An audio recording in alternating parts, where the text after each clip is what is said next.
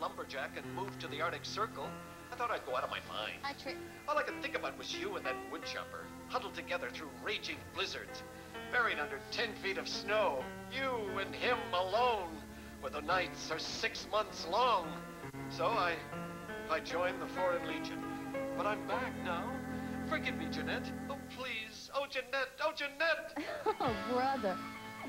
Oh. Sorry, Treen. I didn't mean to wake you up. That's okay. I'm glad you did, because I was having this terrible dream that I fell asleep in the frozen food section of a supermarket. Hey, what you got there? A new friend for Oscar. Nice. You know, I didn't get a wink of sleep last night. Remember that cold I was getting yesterday? Well, it kept me awake all night with the sniffles. That's too bad. Why didn't you stay home today? Well, I'm not really sick. I'm just a little sleepy. Hey, how come Oscar's new friend can't come out and play? Well, he has to get used to the temperature of the water in the tank gradually. He might have gotten a chill on the way over here. There are some fish that have antifreeze in their bodies, but I don't think this guy's one of them. Hey, what do you think we should call him? Jeanette.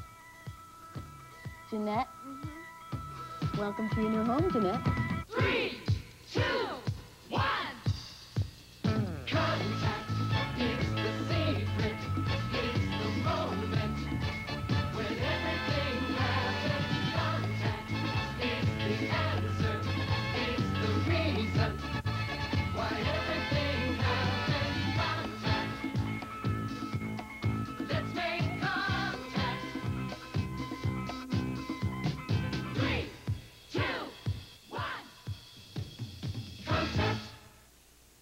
Animals have many ingenious ways of protecting themselves from extreme cold and from extreme heat.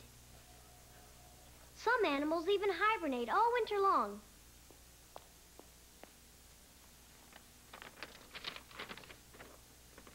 Please wake me up first thing in the spring.